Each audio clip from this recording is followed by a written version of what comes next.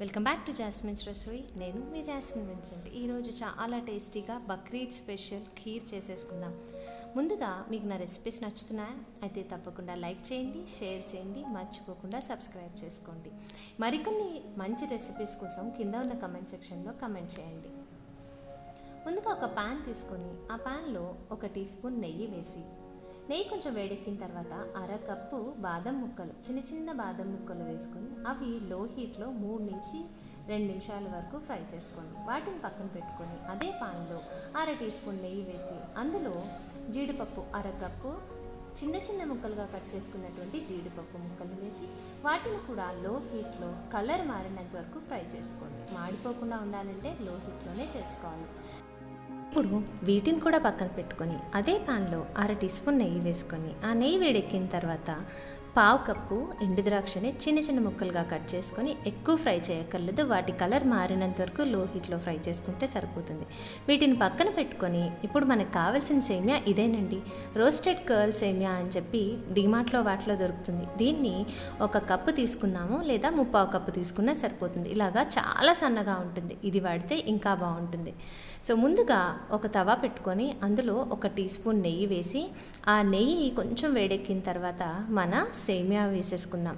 మీరు ఫ్రై చేసుకోకూడదు అనుకుంటే నాకు నెయ్యిలో ఫ్రై చేసుకోవడం వల్ల ఇష్టం కాబట్టి చేసుకుంటున్నాను. మీరు వద్దనుకుంటే ఇలాగే వేసేసుకోవచ్చు.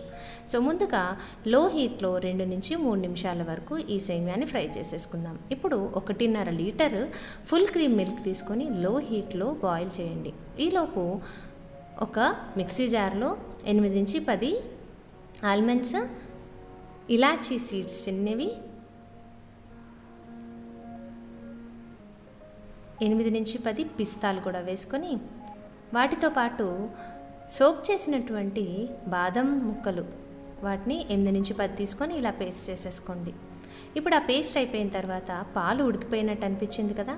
బాగా బాయిల్ అవుతున్నప్పుడు మనం అసలైన ఇంగ్రీడియంట్ కోవా వేసుకోవాలి. పావు కప్పు లేదా అర కప్పు కోవా వేసుకోండి.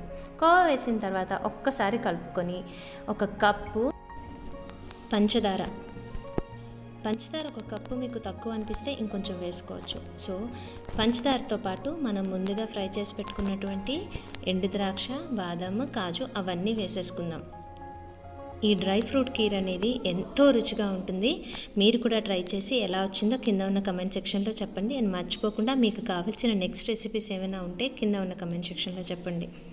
సో ఇలా జాగ్రత్తగా అన్నీ మన డ్రై ఫ్రూట్స్ అన్నీ వేసేసుకొని మనం పేస్ట్ చేసి పెట్టుకున్నటువంటి పేస్ట్ని కూడా వేసేసుకుందాం. సో ఇలా పేస్ట్ వేసి ఒక్కసారి కలిపేసుకొని లో హీట్లో పది నుంచి పదిహేను నిమిషాల వరకు కుక్ చేసుకుందాం. సో ఇలా పది నుంచి పదిహేను నిమిషాల వరకు కుక్ చేసుకున్న తర్వాత మనం ఫ్రై చేసి పెట్టుకున్నటువంటి సేమియా ఉంది కదా ఆ సేమియాని వేసేసుకుందాం.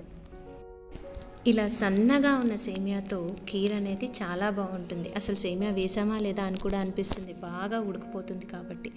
సో సేమియా వేసిన తర్వాత ఒక్కసారి మిక్స్ చేసేసుకొని ఒక థిక్ కన్సిస్టెన్సీ అంటే బాగా చిక్కగా అయిపోయినంత వరకు కుక్ చేసేసుకుందాం లో. ఫ్లేమ్లో మనకి మధ్య మధ్యలో కలుపుతూ ఉండాలి. లేదంటే కింద నా కోవా అది వేసాం కాబట్టి అడుగు అంటుపోకుండా ఉండేటట్టు చూసుకోవాలి.